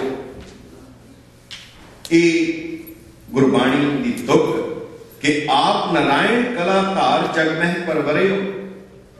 ਪਰਮਾਤਮਾ ਦੀ ਆਪਣੀ ਜੋਤ ਲੈ ਕੇ ਗੁਰੂ ਨਾਨਕ ਸਾਹਿਬ ਇਸ ਧਰਤੀ ਦੇ ਉੱਤੇ ਉਹਨਾਂ ਦਾ ਆਗਮਨ ਹੋਇਆ। ਗੁਰੂ ਨਾਨਕ ਸਾਹਿਬ ਦੇ ਵਿੱਚ ਅਕਾਲ ਪੁਰਖ ਦੀ ਨਿਜ ਜੋਤ ਸੀ। ਇਹ ਜਿਹੜਾ ਲਫ਼ਜ਼ ਹੈ, ਇਹ ਜਿਹੜੇ ਅਲਫਾਜ਼ ਹੈ, ਇਹ ਬਹੁਤ ਹੀ ਗੰਭੀਰ ਹਨ ਕਿ ਆਪ ਨਾਰਾਇਣ ਕਲਾਕਾਰ ਜਗ ਮਹਿ ਪਰਵਰੇ ਮੈਂ ਥੋੜਾ ਜਿਹਾ ਤੁਹਾਡੀ ਤਵੱਜੋ ਥੋੜਾ ਜਿਹਾ ਅਧਿਆਤਮਵਾਦ ਦਾ ਰਹੱਸਵਾਦ ਦਾ ਥੋੜਾ ਜਿਹਾ ਔਖਾ ਜਿਹਾ ਦੇ ਸ਼ਬਦਾਵਲੀ ਹੈ, ਪਰ ਕੋਸ਼ਿਸ਼ ਕਰਾਂਗਾ ਜਿੰਨੇ ਸਿੱਧੇ ਸਾਦੇ ਲਫ਼ਜ਼ਾਂ ਦੇ ਵਿੱਚ ਅਸੀਂ ਇਸ ਗੱਲ ਨੂੰ ਸਮਝ ਸਕੀਏ, ਤਾਂ ਕਿ ਸਾਡਾ ਨਿਸ਼ਾਨਾ ਗੁਰੂ ਗ੍ਰੰਥ ਸਾਹਿਬ ਦਸਾਂ ਪਾਤਸ਼ਾਹਾਂ ਦੀ ਜੋਤ ਕਿਸ ਤਰ੍ਹਾਂ ਹੈ। ਚਾਰ ਜਿਹੜੇ ਲਫ਼ਜ਼ ਬੋਲੇ ਜਾ ਰਹੇ ਜਿਹੜੇ ਲਫ਼ਜ਼ ਆ ਰਹੇ ਹਨ ਇਹਨਾਂ ਦੀ ਚਾਰ ਅਵਸਥਾ ਜਿਹੜੇ ਸਾਡੇ ਵਿਦਵਾਨ ਮੰਨਦੇ ਰਹੇ ਹਨ, ਉਹ ਚਾਰ ਸਟੇਜਸ ਮੰਨੀਆਂ ਜਾਂਦੀਆਂ ਜਿਹੜੇ ਲਫ਼ਜ਼ ਹੁਣ ਨਿਕਲ ਰਹੇ ਹਨ, ਇਹ ਅੱਖਰ ਹਨ। ਇਹਨਾਂ ਅੱਖਰਾਂ ਨੂੰ ਸੁਣਿਆ ਜਾ ਸਕਦਾ ਹੈ, ਇਹਨਾਂ ਕੰਨਾਂ ਦੇ ਨਾਲ ਸੁਣਿਆ ਜਾ ਸਕਦਾ ਹੈ, ਸਮਝਿਆ ਜਾ ਸਕਦਾ ਹੈ, ਮੂੰਹ ਨਾਲ ਬੋਲਿਆ ਜਾ ਸਕਦਾ ਹੈ। ਇਹਨਾਂ ਨੂੰ ਬੈਖਰੀ ਕਿਹਾ ਜਾਂਦਾ ਹੈ। ਇਸ ਤੋਂ ਪਹਿਲੀ ਅਵਸਥਾ, ਇਸ ਤੋਂ ਪਹਿਲੀ ਸਟੇਜ ਹੁੰਦੀ ਹੈ, ਜਦੋਂ ਬੈਖਰੀ ਤੋਂ ਪਹਿਲੀ ਉਹ ਹੈ ਮਦਮਾ ਗਲੇ 'ਚ ਅਟਕਿਆ ਹੈ, ਲਫ਼ਜ਼ ਯਾਦ ਆ ਰਿਹਾ ਹੈ, ਨਿਕਲ ਨਹੀਂ ਰਿਹਾ। ਸੰਤ ਤੋਂ ਮੂੰਹ ਤੋਂ ਬਾਹਰ ਨਹੀਂ ਆ ਰਿਹਾ, ਬੜੀ ਵਾਰ ਹੋਏਗਾ, ਬੰਦਾ ਕਹਿੰਦਾ ਮੈਨੂੰ ਯਾਦ ਆ ਰਿਹਾ ਲਫ਼ਜ਼ ਨਹੀਂ ਮਿਲ ਰਿਹਾ, ਬਾਹਰ ਨਹੀਂ ਆ ਰਿਹਾ। ਉਹ ਮਧਮਾ ਅਵਸਥਾ ਹੁੰਦੀ ਉਸ ਤੋਂ ਇੱਕ ਪਹਿਲੀ ਅਵਸਥਾ ਹੋਰ ਹੁੰਦੀ ਹੈ। ਉਹ ਅਵਸਥਾ ਹੈ ਪਸ਼ਯੰਤੀ, ਜਿਹੜੀ ਕਿ ਧੁਨੀ ਤੋਂ ਉਤਲੀ ਸਟੇਜ ਦੇ ਵਿੱਚ ਇਹ ਲਫ਼ਜ਼ ਹੁੰਦੇ ਹਨ। ਉਹਨਾਂ ਦਾ ਰੂਪ ਬਣ ਚੁੱਕਾ ਹੁੰਦਾ ਹੈ, ਇੱਕ ਆਈਡੀਆ ਬਣ ਚੁੱਕਾ ਹੁੰਦਾ ਹੈ, ਇੱਕ ਖਾਕਾ ਹੁੰਦਾ ਹੈ, ਇੱਕ ਇੰਜੀਨੀਅਰ ਨੇ ਬ੍ਰਿਜ ਬਣਾਉਣਾ ਹੈ, ਪੁਲ ਬਣਾਉਣਾ ਹੈ, ਕੋਈ ਇਜਾਦ ਕਰਨੀ ਹੈ, ਉਸ ਦੇ ਦਿਮਾਗ ਵਿੱਚ ਉਸ ਦਾ ਖਾਕਾ ਹੈ ਉਹਦੇ ਦਿਮਾਗ ਵਿੱਚ ਕੁਝ ਸਮਝ ਆ ਰਿਹਾ ਪਰ ਉਸ ਨੂੰ ਅੱਖਰ ਨਹੀਂ ਮਿਲ ਰਹੇ ਉਸ ਨੂੰ ਸ਼ੇਪ ਨਹੀਂ ਮਿਲ ਰਹੀ। ਉਹ ਜਿਹੜੀ ਅਵਸਥਾ ਹੈ, ਉਹ ਵਿਦਵਾਨ ਉਸ ਨੂੰ ਪਸ਼ਯੰਤੀ ਕਹਿੰਦੇ ਇਹ ਤੀਸਰੀ ਅਵਸਥਾ। ਇੱਕ ਉਸ ਤੋਂ ਵੀ ਪਹਿਲੇ ਦੀ ਅਵਸਥਾ ਹੈ, ਜਿਹੜੀ ਕਿ ਬਿਲਕੁਲ ਅਜੇ ਫਲੂਇਡ ਸਿਚੁਏਸ਼ਨ ਹੈ। ਜਿਹੜੀ ਅਜੇ ਕੋਈ ਉਹਦਾ ਆਈਡੀਆ ਨਹੀਂ ਬਣਿਆ ਉਸ ਨੂੰ ਪਰਾ ਰੂਪ ਕਿਹਾ ਜਾਂਦਾ ਹੈ। ਅਕਾਲ ਪੁਰਖ ਨਿਰਾਕਾਰ ਹੈ। ਉਸ ਦੀ ਭਾਸ਼ਾ ਪਰਾ ਦੇ ਵਿੱਚ ਤੁਸੀਂ ਵੇਖੋਗੇ ਸੁਣਿਆ ਹੋਣਾ ਅਹਿਸਾਸ ਹੋਏਗਾ। ਮਾਂ ਔਰ ਬੱਚੇ ਦੇ ਵਿਚਕਾਰ ਗੱਲਬਾਤ ਕੋਈ ਅੱਖਰ ਨਹੀਂ, ਕੋਈ ਸ਼ਬਦਾਵਲੀ ਨਹੀਂ, ਕੋਈ ਵਿਆਕਰਣ ਨਹੀਂ ਹੈ, ਪਰ ਇੱਕ ਦੂਜੇ ਦੀ ਭਾਸ਼ਾ ਸਮਝਦੇ ਦੋ, ਬਹੁਤ ਉੱਚੀ ਅਵਸਥਾ ਦੇ ਵਿੱਚ ਪਹੁੰਚੇ ਹੋਏ, ਅਧਿਆਤਮਵਾਦ ਦੇ ਵਿੱਚ ਬਹੁਤ ਉੱਤੇ ਪਹੁੰਚੇ ਹੋਏ ਭਾਵੇਂ ਇੱਕ ਅਫਰੀਕਾ ਦਾ ਹੈ, ਅਮਰੀਕਾ ਦਾ ਹੈ, ਜਾਪਾਨ ਦਾ ਹੈ, ਹਿੰਦੁਸਤਾਨ ਦਾ ਇੱਕ ਦੂਜੇ ਦੀ ਭਾਸ਼ਾ ਸਮਝ ਸਕਦੇ ਹਨ, ਕਿਉਂਕਿ ਉੱਥੇ ਵਿਆਕਰਣ ਦੀ ਲੋੜ ਨਹੀਂ, ਉੱਥੇ ਕਿਸੇ ਅੱਖਰਾਂ ਦੀ ਲੋੜ ਨਹੀਂ, ਉਹ ਪਰਾਰੰਭ ਹੁੰਦਾ ਹੈ। ਗੁਰੂ ਨਾਨਕ ਸਾਹਿਬ ਦੇ ਵਿੱਚ ਅਕਾਲ ਪੁਰਖ ਨੇ ਪਰਾਰੂਪ ਹੋ ਕੇ ਉਹਨਾਂ ਦੇ ਅੰਦਰ ਸਥਾਪਿਤ ਹੋਏ। ਉਹ ਪਰਾਰੂਪ ਉਹ ਜਿਹੜਾ ਨਿਰੰਕਾਰ ਦਾ ਰੂਪ ਹੈ ਉਸ ਨੂੰ ਸ਼ੇਪ ਮਿਲ ਪਸ਼ੰਤੀ ਦੇ ਰੂਪ ਵਿੱਚ ਉਸ ਦਾ ਡਿਵੈਲਪਮੈਂਟ ਹੋਈ ਗਰੋਥ ਹੋਈ। ਜਦੋਂ ਫਿਰ ਮਦਮਾ ਤੋਂ ਬਾਅਦ, ਜਦੋਂ ਗੁਰੂ ਸਾਹਿਬ ਦੇ ਮੁਖਾਰਬਿੰਦ ਤੋਂ ਲਫ਼ਜ਼ ਨਿਕਲੇ, ਉਹ ਲਫ਼ਜ਼, ਉਹ ਨਿਰੰਕਾਰ ਦਾ ਉਹ ਰੂਪ ਸੀ, ਜਿਹੜਾ ਵੈਖਰੀ ਹੋ ਕੇ ਬਾਹਰ ਨਿਕਲਿਆ। ਵਾਹੋ ਵਾਹੋ, ਬਾਣੀ ਨਿਰੰਕਾਰ ਹੈ। ਇਹ ਬਾਣੀ ਨਿਰੰਕਾਰ ਹੈ। ਇਹ ਬਾਣੀ ਅਕਾਲ ਪੁਰਖ ਦਾ ਨਿਜ ਸਰਗਣ ਸਰੂਪ ਹੈ, ਜਿਹੜਾ ਪਰਾ ਪਸ਼ੰਤੀ ਮਦਮਾ ਤੋਂ ਹੁੰਦਾ ਹੋਇਆ, ਜਿਹੜਾ ਇਸ ਅੱਖਰਾਂ ਦੇ ਰੂਪ ਵਿੱਚ ਜਿਹੜਾ ਬਾਹਰ ਨਿਕਲਿਆ ਹੈ। ਭਾਈ ਗੁਰਦਾਸ ਨੇ ਇੱਕ ਛੋਟਾ ਜਿਹਾ ਇਸ਼ਾਰਾ ਹੋਰ ਦਿੱਤਾ ਹੈ। ਹਿੰਦੁਸਤਾਨ ਦੇ ਪੁਰਾਣੇ ਧਾਰਮਿਕ ਲੋਕ ਆਪਣਾ ਉਚਿਸ਼ਟ ਉਚਿਸ਼ਟ ਕਿਹਾ ਜਾਂਦਾ ਸੀ, ਆਪਣਾ ਝੂਠਾ ਕਿਸੇ ਨੂੰ ਖਾਣ ਲਈ ਦਿੰਦੇ ਸੀ। ਕਿਸੇ ਨੂੰ ਆਪਣਾ ਚੇਲਾ ਬਣਾਉਣ ਹੋਏ, ਇਹ ਲਫ਼ਜ਼ ਵਰਤਿਆ ਜਾਂਦਾ ਸੀ, ਉਹ ਜਿਸ ਹੈ ਇਹ ਆਪਣੀ ਝੂਠ ਆਪਣਾ ਪਾਣੀ ਪੀ ਕੇ, ਆਪਣਾ ਭੋਜਨ ਖਾ ਕੇ, ਉਹ ਥਾਲੀ ਕਿਸੇ ਹੋਰ ਨੂੰ ਦੇ ਦਿੰਦੇ ਸੀ। ਉਹ ਉਹਨਾਂ ਦੇ ਮੂੰਹ ਦੇ ਨਾਲ ਟੱਚ ਕੀਤੀ ਹੋਈ, ਉਹ ਕਿਸੇ ਨੂੰ ਦੇ ਕੇ, ਉਸ ਨੂੰ ਬਹੁਤ ਭਾਗਸ਼ਾਲੀ ਸਮਝਦਾ ਸੀ। ਹੋਣਗੇ, ਉਹ ਅੱਖਰ ਤਾਂ ਗੁਰੂ ਹੋਣਗੇ, ਪਰ ਉਹ ਵਿਅਕਤੀ ਗੁਰੂ ਨਹੀਂ ਹੋਏਗਾ। ਔਰ ਜੇ ਦਾਵਾ ਕਰਦਾ ਹੈ ਗੁਰੂ ਹੋਣ ਦਾ, ਉਹ ਬਹੁਤ ਵੱਡਾ ਪਖੰਡੀ ਹੋਏਗਾ। ਇਹ ਗੱਲ ਸਮਝਣ ਵਾਲੀ ਇਸ ਕਰਕੇ ਐਰਾ ਗੈਰਾ ਜਣਾ ਖਣਾ ਗੁਰੂ ਨਹੀਂ ਕਵਾ ਸਕਦਾ। ਗੁਰੂ ਦੀ ਬਾਣੀ ਨੂੰ ਜ਼ਰੂਰ ਪੜ ਸਕਦਾ ਹੈ, ਗੁਰਬਾਣੀ ਉਚਾਰਨ ਕਰ ਸਕਦਾ ਹੈ, ਉਹ ਸ਼ਬਦ ਗੁਰੂ ਹੋਏਗਾ, ਪਰ ਉਸ ਨੂੰ ਬੋਲਣ ਵਾਲਾ ਹਰ ਮਨੁੱਖ ਗੁਰੂ ਨਹੀਂ ਹੋਏਗਾ। ਗੁਰੂ ਨਾਨਕ ਸਾਹਿਬ ਦੇ ਅੰਦਰ ਉਹ ਜਿਹੜੀ ਜੋਤ ਰੂਪ ਵਿੱਚ, ਸ਼ਬਦ ਰੂਪ ਵਿੱਚ ਜਿਹੜੀ ਸਥਾਪਿਤ ਕੀਤੀ, ਹੁਣ ਇੱਥੇ ਬਹੁਤ ਹੀ ਕਮਾਲ ਦੀ ਗੱਲ ਹੈ। ਗੁਰੂ ਨਾਨਕ ਸਾਹਿਬ ਨੇ ਜਦੋਂ ਆਪਣਾ ਜਾਮਾ ਤਬਦੀਲ ਕਰਨਾ ਹੈ, ਸਰੀਰ ਦੇ ਹੁੰਦਿਆਂ, ਆਪਣੇ ਸਰੀਰ ਦੇ ਹੁੰਦਿਆਂ ਗੁਰੂ ਸਾਹਿਬ ਨੇ ਗੁਰ ਅੰਗਦ ਦੇਵ ਜੀ ਵਿੱਚ ਉਹ ਜੋਤ ਸਥਾਪਿਤ ਕੀਤੀ ਹੈ। ਉਹ ਜਿਹੜੀ ਜੋਤ ਗੁਰੂ ਨਾਨਕ ਸਾਹਿਬ ਦੇ ਅੰਦਰ, ਹੁਣ ਇਸ ਦਾ ਕੋਈ ਤੁਸੀਂ ਕਹੋ, ਇਹਦਾ ਸਾਇੰਟਿਫਿਕ ਪ੍ਰੂਫ ਦਿਓ, ਇਹਦਾ ਕੋਈ ਹੋਰ ਹਵਾਲਾ ਦਿਓ, ਨਹੀਂ ਹੋ ਸਕਦਾ। ਗੁਰਬਾਣੀ ਕਹਿ ਰਹੀ ਹੈ, ਹਵਾਲਾ ਦੇ ਰਹੀ ਹੈ, ਉਹੀ ਜੋਤ ਗੁਰੂ ਨਾਨਕ ਸਾਹਿਬ ਦੀ। ਪਰ ਇੱਕ ਗੱਲ ਹੋਰ ਧਿਆਨ ਦੇਣਾ। ਕਿਸੇ ਬੰਦੇ ਦੇ ਮਰ ਜਾਣ ਤੋਂ ਬਾਅਦ, ਕਿਸੇ ਬੰਦੇ ਦੇ ਸਰੀਰ ਛੱਡ ਦੇਣ ਦੇ ਬਾਅਦ, ਉਹਦੀ ਪ੍ਰਾਪਰਟੀ, ਉਹਦੀ ਜਾਇਦਾਦ, ਉਹਦਾ ਧਨ ਦੌਲਤ, ਉਹਦਾ ਅਹੁਦਾ ਕਿਸੇ ਦੂਜੇ ਨੂੰ ਸੌਂਪਿਆ ਜਾ ਸਕਦਾ ਹੈ। ਪਰ ਜੇ ਜੋਤ ਹੈ, ਉਹ ਜਿਸ ਵੇਲੇ ਸਰੀਰ ਹੈ, ਉਸ ਵੇਲੇ ਨਾਲ ਜੋਤ ਹੈ। ਗੁਰੂ ਸਾਹਿਬ ਨੇ ਆਪਣੇ ਸਰੀਰ ਤੇ ਹੁੰਦਿਆਂ ਉਹ ਜੋਤ ਗੁਰੂ ਅੰਗਦ ਦੇਵ ਜੀ ਵਿੱਚ ਸਥਾਪਿਤ ਕਰ ਦਿੱਤੀ। ਹੁਣ ਜੋਤ ਜਿਹੜੀ ਸੀ ਨਿਰੰਕਾਰ ਦੀ ਗੁਰੂ ਅੰਗਦ ਦੇਵ ਜੀ ਵਿੱਚ ਹੋ ਗਈ, ਗੁਰੂ ਨਾਨਕ ਅਜੇ ਵੀ ਹਨ। ਨਾਨਕ ਗੁਰੂ ਰੂਪ ਦੇ ਵਿੱਚ ਅਜੇ ਵੀ ਹਨ, ਪਰ ਜੋਤ ਜਿਹੜੀ ਹੈ ਨਿਰੰਗ ਦੀ ਗੁਰੂ ਅੰਗਦ ਦੇਵ ਜੀ ਵਿੱਚ ਹੈ। ਗੁਰੂ ਅੰਗਦ ਦੇਵ ਜੀ ਨੇ ਆਪਣੇ ਸਰੀਰ ਦੇ ਹੁੰਦਿਆਂ ਉਹ ਜੋਤ ਗੁਰੂ ਅਮਰਦਾਸ ਜੀ ਵਿੱਚ ਸਥਾਪਿਤ ਕੀਤੀ। ਗੁਰੂ ਅਮਰਦਾਸ ਜੀ ਨੇ ਆਪਣੇ ਸਰੀਰ ਦੇ ਹੁੰਦਿਆਂ ਉਹ ਜੋਤ ਗੁਰੂ ਰਾਮਦਾਸ ਜੀ ਵਿੱਚ ਸਥਾਪਿਤ ਕੀਤੀ, ਇਸ ਤਰੀਕੇ ਦੇ ਨਾਲ ਇਹ ਤਬਦੀਲੀ ਹੁੰਦਿਆਂ 1708 ਦੇ ਵਿੱਚ ਸੱਚਖੰਡ ਸ੍ਰੀ ਹਜ਼ੂਰ ਸਾਹਿਬ ਵਿੱਚ ਗੁਰੂ ਗੋਬਿੰਦ ਸਿੰਘ ਸਾਹਿਬ ਨੇ ਉਹ ਜਿਹੜੀ ਜੋਤ ਸੀ, ਜਿਹੜੀ ਗੁਰੂ ਨਾਨਕ ਸਾਹਿਬ ਦੇ ਰਾਹੀਂ ਅਕਾਲ ਪੁਰਖ ਦੀ ਜੋਤ ਸੀ, ਗੁਰੂ ਗੋਬਿੰਦ ਸਿੰਘ ਸਾਹਿਬ ਨੇ ਕਿਉਂਕਿ ਦੋ ਗੱਲਾਂ ਹਨ। ਇੱਕ ਸਰੀਰ ਹੈ ਔਰ ਇੱਕ ਜੋਤ ਹੈ। ਨਾਨਕ ਬੇਰ ਸਰੀਰ ਕਾ, ਇੱਕ ਰਤ ਇੱਕ ਰਤ ਬਹੁ ਜੇਕਰ ਸਰੀਰ ਹੈ, ਜੇਕਰ ਸਰੀਰ ਹੈ, ਜੋਤ ਨਹੀਂ ਹੈ, ਤਾਂ ਉਹ ਮੁਰਦਾ ਹੈ। ਜੇਕਰ ਜੋਤ ਹੈ, ਸਰੀਰ ਨਹੀਂ ਹੈ, ਉਹ ਭੂਤ ਹੈ। ਇੱਕ ਮਸ਼ੀਨ ਹੈ, ਇੱਕ ਗ੍ਰਾਈਂਡਰ ਹੈ, ਪਾਵਰ ਨਹੀਂ ਹੈ, ਉਹ ਡੈਡ ਹੈ। ਪਾਵਰ ਹੈ, ਮਸ਼ੀਨ ਨਹੀਂ ਹੈ, ਉਹ ਕੋਈ ਕੰਮ ਨਹੀਂ ਸਾਧ ਸਕਦੀ। ਇਹਨਾਂ ਦੋਨਾਂ ਦੇ ਸੁਮੇਲ ਨੂੰ ਹੀ, ਇਹਨਾਂ ਦੋਨਾਂ ਦੀ ਕੋਆਰਡੀਨੇਸ਼ਨ ਨੂੰ ਹੀ ਇੱਕ ਯੂਟਿਲਿਟੀ ਕਿਹਾ ਜਾ ਸਕਦਾ ਹੈ। ਗੁਰੂ ਗੋਬਿੰਦ ਸਿੰਘ ਸਾਹਿਬ ਨੇ ਇਸ ਤੋਂ ਪਹਿਲਾਂ ਗੁਰੂ ਸਾਹਿਬ ਨੇ ਆਪਣੀ ਜੋਤ ਦੂਸਰੇ ਜਾਮੇ ਦੇ ਵਿੱਚ, ਸਰੀਰ ਵਿੱਚ ਸਥਾਪਿਤ ਕਰਦੇ ਰਹੇ ਹੁਣ ਗੁਰੂ ਗੋਬਿੰਦ ਸਿੰਘ ਸਾਹਿਬ ਨੇ ਕਮਾਲ ਦੀ ਗੱਲ ਕੀਤੀ ਹੈ। ਜਿਹੜੀ ਦੁਨੀਆ ਦੇ ਇਤਿਹਾਸ ਵਿੱਚ ਹੋਰ ਕਿਧਰੇ ਨਹੀਂ ਹੈ।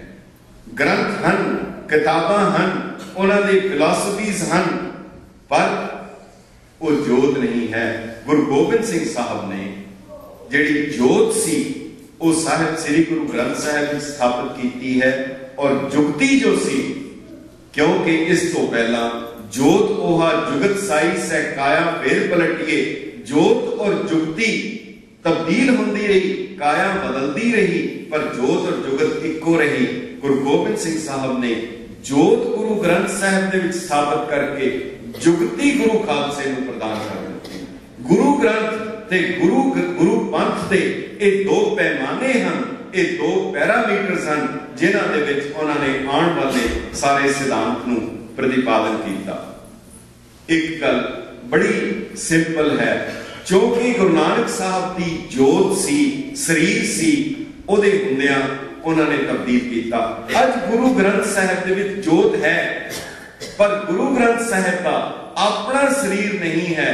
ਇਹ ਗੁਰੂ ਗ੍ਰੰਥ ਸਾਹਿਬ, ਇਹ ਜੋਤ ਹੁਣ ਕਿਸੇ ਹੋਰ ਦੇ ਵਿੱਚ ਸਥਾਪਿਤ ਨਹੀਂ ਕਰ ਸਕਦੇ। ਇਸ ਕਰਕੇ ਜੁਗੋ ਜੁਗ ਅਟਲ ਗੁਰੂ ਗ੍ਰੰਥ ਸਾਹਿਬ ਹੈ। ਇਹ ਸਦੀਵੀ ਤੌਰ ਦੇ ਉੱਤੇ ਸਾਹਿਬ ਸ੍ਰੀ ਗੁਰੂ ਗ੍ਰੰਥ ਸਾਹਿਬ ਦੇ ਵਿੱਚ ਇਹ ਜੋਤ ਜਿਹੜੀ ਸਥਾਪਿਤ ਹੋਈ ਹੈ, ਇਸ ਕਰਕੇ ਇਹ ਜੋਤ ਔਰ ਜੁਗਤ ਜਿਹੜੀ ਹੈ, ਉਹ ਗੁਰੂ ਗ੍ਰੰਥ ਸਾਹਿਬ ਵਿੱਚ, ਗੁਰੂ ਗ੍ਰੰਥ ਤੇ ਗੁਰੂ ਪੰਥ ਦੇ ਇਹਨਾਂ ਦੋ ਪੈਰਾਮੀਟਰਸ ਦੇ ਵਿੱਚ ਇਹ ਸਾਰੀ ਜਿਹੜੀ ਹੈ, ਇਹ ਸਥਾਪਿਤ ਕੀਤੀ ਗਈ। ਨਿਸ਼ਾਨਾ ਨਿਰਾਕਾਰ ਨੂੰ ਪ੍ਰਾਪਤ ਕਰਨਾ ਹੈ। ਨਿਰਾਕਾਰ ਜਿਸ ਦਾ ਕੋਈ ਰੂਪ ਨਹੀਂ ਹੈ, ਕੋਈ ਆਕਾਰ ਨਹੀਂ ਹੈ। ਹੁਣ ਨਿਰਾਕਾਰ ਨੂੰ ਪਾਣ ਲਈ, ਨਿਰਾਕਾਰ ਨੂੰ ਸਮਝਣ ਲਈ, ਨਿਰਾਕਾਰ ਨੂੰ ਹਾਸਲ ਕਰਨ ਲਈ ਕੁਝ ਆਕਾਰ ਸਿਰਜਣੇ ਪੈਂਦੇ ਗੁਰੂ ਗ੍ਰੰਥ ਸਾਹਿਬ ਦਾ ਪੀੜਾ ਸਾਹਿਬ ਚੌਰ ਸਾਹਿਬ, ਰੁਮਾਲਾ ਸਾਹਿਬ, ਨਿਸ਼ਾਨ ਸਾਹਿਬ, ਗੁਰੂ ਦੁਆਰਾ ਇਹ ਸਾਰੇ ਕੁਝ ਆਕਾਰ ਹਨ। ਇਹ ਆਕਾਰ ਸਿਰਜਣੇ ਹਨ। ਆਕਾਰ ਦੇ ਰਾਹੀਂ ਨਿਰਾਕਾਰ ਤੱਕ ਪਹੁੰਚਣਾ ਹੈ। ਇਹ ਗੁਰੂ ਦਾ ਦਰ ਹੈ। ਇਹ ਗੁਰੂ ਦਰ ਹੈ। ਸੋ ਦਰ ਤੋਂ ਸੋ ਘਰ ਦਾ ਸਫ਼ਰ ਜਿਹੜਾ ਕਰਨਾ ਹੈ, ਇਹ ਮੰਜ਼ਲ ਨਹੀਂ ਹੈ। ਮੰਜ਼ਲ ਕੋਈ ਹੋਰ ਹੈ, ਇਸ ਦੇ ਰਾਹੀਂ, ਇਸ ਦਰ ਦੇ ਰਾਹੀਂ ਉਸ ਘਰ ਤੱਕ ਪਹੁੰਚਣਾ ਹੈ। ਸੋ ਦਰ ਤੋਂ ਸੋ ਘਰ ਤੱਕ ਪਹੁੰਚਣਾ ਹੈ। ਗੁਰੂ ਗ੍ਰੰਥ ਸਾਹਿਬ ਸਾਹਿਬ ਸ੍ਰੀ ਗੁਰੂ ਗ੍ਰੰਥ ਸਾਹਿਬ, ਜਿਹਦੇ ਵਿੱਚ ਦਸਾਂ ਪਾਤਸ਼ਾਹੀਆਂ ਦੀ ਜੋਤ ਹੈ, ਇਸ ਦੇ ਨਾਲ ਇਹਦਾ ਇੱਕ ਮਕਸਦ ਹੈ।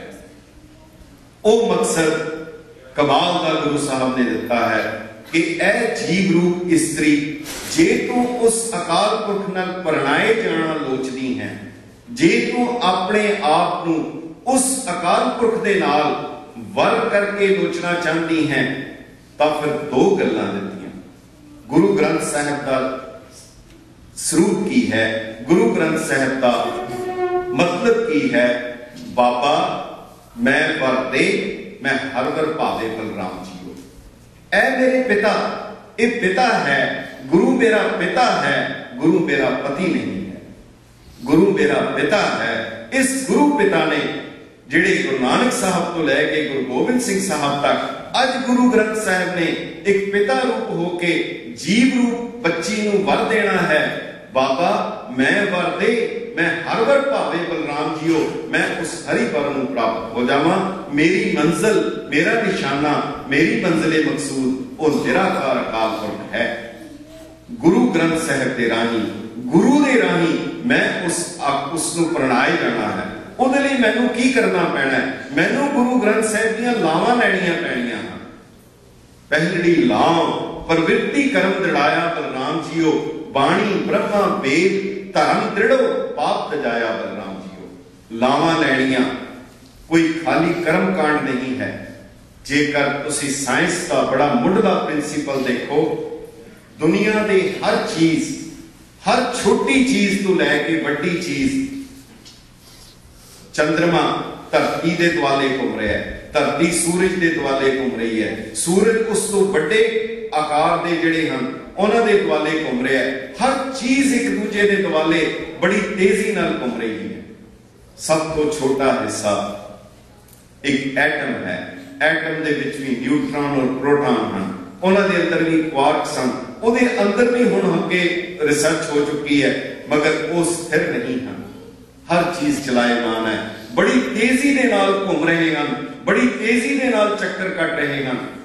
ਆਪਣੇ ਨਿਊਕਲੀਅਸ ਦੇ ਦੁਆਲੇ।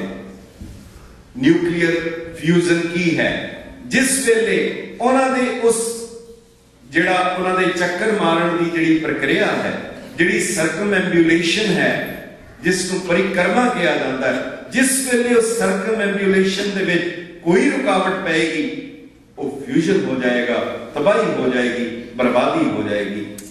ਰੂਹ ਰੂਪ ਸਿੱਖ ਨੇ ਇਹ ਸਮਝ ਕੇ ਕਰਨਾ ਹੈ ਕਿ ਜਦੋਂ ਗੁਰੂ ਗ੍ਰੰਥ ਸਾਹਿਬ ਨੂੰ ਮੈਂ ਕੇਂਦਰੀ ਧੁਰਾ ਮੰਨ ਕੇ ਕਿ ਤੂੰ ਮੇਰਾ ਨਿਊਕਲੀਅਸ ਹੈ, ਮੈਂ ਤੇਰਾ ਸੈਟੇਲਾਈਟ ਹਾਂ। ਜਦੋਂ ਇਸ ਦੇ ਦੁਆਲੇ ਪ੍ਰਕਰਮਾ ਕਰਨੀ ਹੈ, ਇਹ ਸਮਝ ਕੇ ਇਹ ਮੇਰਾ ਕੇਂਦਰ ਬਿੰਦੂ ਹੈ।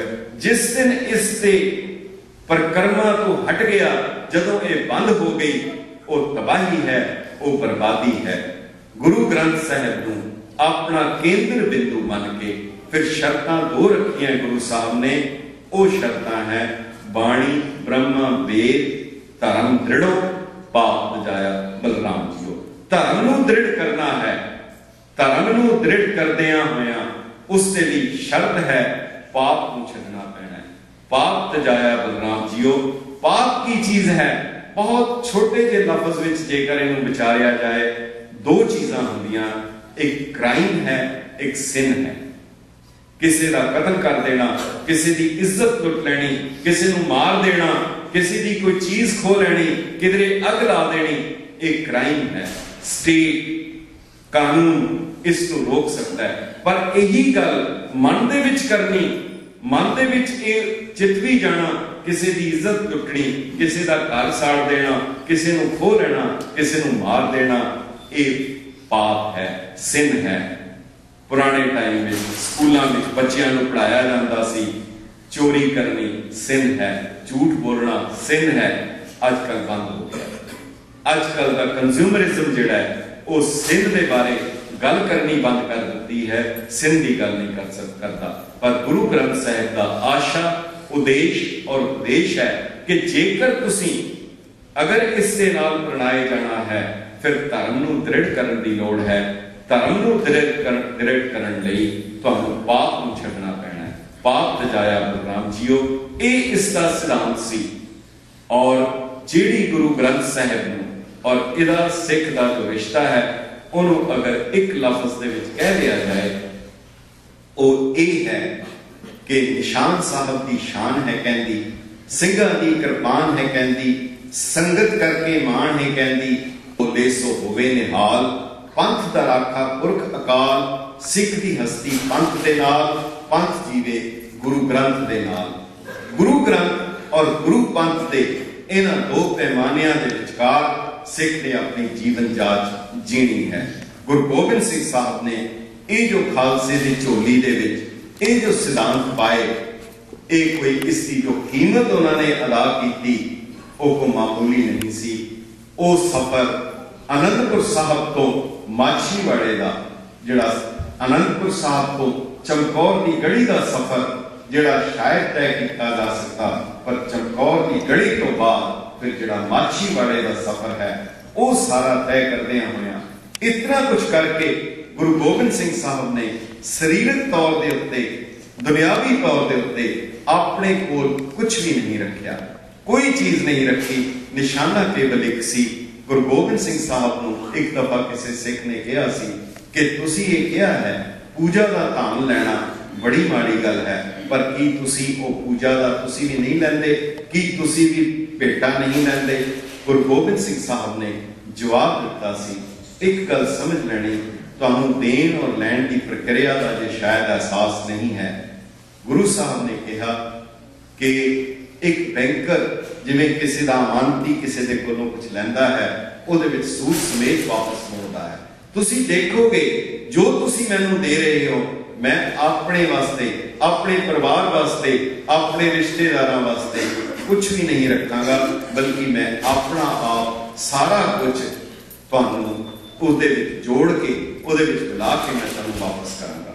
ਇਸ ਗੁਰੂ ਗ੍ਰੰਥ ਸਾਹਿਬ ਨੂੰ ਜਦੋਂ ਸਾਹਿਬ ਸ੍ਰੀ ਗੁਰੂ ਅਰਜਨ ਦੇਵ ਜੀ ਮਹਾਰਾਜ ਨੇ ਉਹਦੇ ਲਈ ਇੱਕ ਸ਼ਾਨਦਾਰ ਇਮਾਰਤ ਦਾ ਨਿਰਮਾਣ ਕੀਤਾ, ਜਦੋਂ ਸੱਚਖੰਡ ਸ੍ਰੀ ਹਰਮੰਦਰ ਸਾਹਿਬ ਦੇ ਵਿੱਚ ਖੁਦ ਉਹਨਾਂ ਨੇ ਸਥਾਪਿਤ ਕੀਤੀ ਤਾਂ ਇੱਕ ਗੱਲ ਧਿਆਨ ਦੇਣ ਵਾਲੀ ਹੈ। ਦੁਨਿਆਵੀ ਕਈ ਜਿਹੜੇ ਲੋਕ ਹਨ, ਉਹ ਕਿਧਰੇ ਸ਼ੇਰ ਦੇ ਆਸਨ ਤੇ ਬੈਠਦੇ ਹਨ, ਉਹਦੀ ਮਿਰਗਸ਼ਾਲਾ ਤੇ ਬੈਠਦੇ ਹਨ, ਕਈ ਸ਼ੇਰ ਦੀ ਖਲ ਤੇ ਬੈਠਦੇ ਹਨ, ਕੋਈ ਸਿੰਘਾਸਨ ਤੇ ਬੈਠਦੇ ਹਨ, ਕੋਈ ਕੁਰਸੀ ਤੇ ਬੈਠਦੇ ਹਨ, ਪਰ ਗੁਰੂ ਅਰਜਨ ਦੇਵ ਜੀ ਉਹਨਾਂ ਨੇ ਗ੍ਰਸਥ ਮਾਰਗ ਨੂੰ ਗ੍ਰਸਤੀਆਂ ਦਾ ਧਰਮ ਬਣਾਉਣਾ ਹੈ, ਜਿਹੜਾ ਆਸਨ ਗੁਰੂ ਗ੍ਰੰਥ ਸਾਹਿਬ ਲਈ ਉਹਨਾਂ ਨੇ ਨਿਯਤ ਕੀਤਾ, ਉਹ ਆਸਨ ਕਿਹੜਾ ਹੈ? ਜਿਹੜਾ ਗ੍ਰਸਤੀਆਂ ਦੇ ਬੈਠਣ ਦੀ ਜਗ੍ਹਾ ਜਿਹਨੂੰ ਮੰਜੀ ਕਿਹਾ ਜਾਂਦਾ ਹੈ। ਗੁਰੂ ਸਾਹਿਬ ਮੰਜੀ ਸਾਹਿਬ ਦੇ ਉੱਤੇ ਉਹਨਾਂ ਨੇ ਸਾਹਿਬ ਸ੍ਰੀ ਗੁਰੂ ਗ੍ਰੰਥ ਸਾਹਿਬ ਜੀ ਨੂੰ ਸਥਾਪਿਤ ਕੀਤਾ ਔਰ ਜਿਵੇਂ ਬੱਚੇ ਜ਼ਿਕਰ ਕਰ ਰਹੇ ਸੀ, ਪਹਿਲੀ ਗ੍ਰੰਥੀ ਗੁਰੂ ਸਾਹਿਬ ਨੇ ਬਾਬਾ ਬੁੱਢਾ ਜੀ ਨੂੰ ਸਥਾਪਿਤ ਕੀਤਾ। ਗੁਰੂ ਅਰਜਨ ਦੇਵ ਜੀ ਨੇ ਇੱਕ ਵਾਰ ਬਾਬਾ ਬੁੱਢਾ ਜੀ ਨੂੰ ਸੱਦਿਆ। ਸਿੱਖ ਦੀ ਅਵਸਥਾ, ਗੁਰੂ ਸਾਹਿਬ ਦੀ ਚੋਣ ਬਾਬਾ ਬੁੱਢਾ ਜੀ ਨੂੰ ਗ੍ਰੰਥੀ ਚੁਣਨਾ, ਹਾਲਾ ਉਹਨਾਂ ਕੋਲ ਭਾਈ ਗੁਰਦਾਸ ਜੀ ਵਰਗੇ ਵਿਦਵਾਨ ਵੀ ਮੌਜੂਦ ਸਨ। ਗੁਰੂ ਅਰਜਨ ਦੇਵ ਜੀ ਨੇ ਬਾਬਾ ਬੁੱਢਾ ਜੀ ਨੂੰ ਬੁਲਾਇਆ ਔਰ ਕਿਹਾ ਕਿ ਬਾਬਾ ਜੀ, ਬਾਲਕ ਹਰਗੋਬਿੰਦ ਦੀ ਪੜ੍ਹਾਈ ਦੀ ਜ਼ਿੰਮੇਵਾਰੀ ਤੁਹਾਡੇ ਸਿਰ ਹੈ।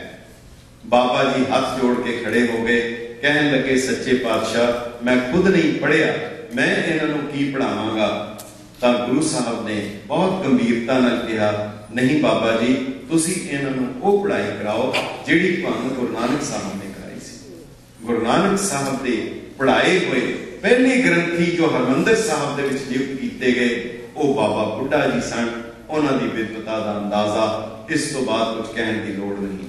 ਔਰ ਇੱਕ ਹੋਰ ਗੱਲ ਹੈ, ਜਦੋਂ ਗੁਰੂ ਸਾਹਿਬ ਨੇ ਪ੍ਰਕਾਸ਼ ਕੀਤਾ, ਗੁਰੂ ਗ੍ਰੰਥ ਸਾਹਿਬ ਦਾ ਪ੍ਰਕਾਸ਼ ਕੀਤਾ, ਬਾਬਾ ਬੁੱਢਾ ਜੀ ਨੂੰ ਗ੍ਰੰਥੀ ਦੀ ਪਦਵੀ ਦਿੱਤੀ ਹੈ। ਆਪ ਇੱਕ ਪਾਸੇ ਬੈਠੇ ਹਨ।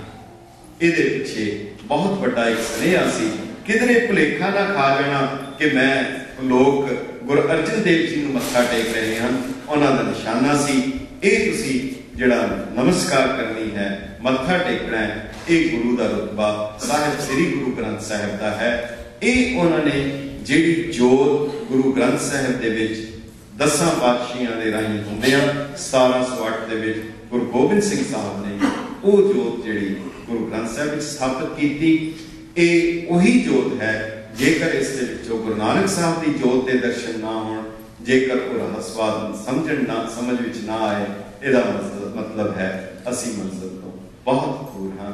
ਸੋ ਅੱਜ ਦੇ ਇਸ ਵਿਸ਼ੇ ਦੇ ਉੱਤੇ ਇਹ ਥੋੜੀ ਜਿਹੀ ਵਿਚਾਰ ਕਿ ਗੁਰੂ ਗ੍ਰੰਥ ਸਾਹਿਬ ਲਿਵਿੰਗ ਗੁਰੂ ਕਿਸ ਤਰ੍ਹਾਂ ਹੈ, ਗੁਰੂ ਗ੍ਰੰਥ ਸਾਹਿਬ ਦਸਾਂ ਪਾਤਸ਼ਾਹਾਂ ਦੀ ਜੋਤ ਕਿਸ ਤਰ੍ਹਾਂ ਹੈ ਜੋਤ ਔਰ ਜਗਤ ਵਿੱਚ ਫ਼ਰਕ ਕੀ ਹੈ?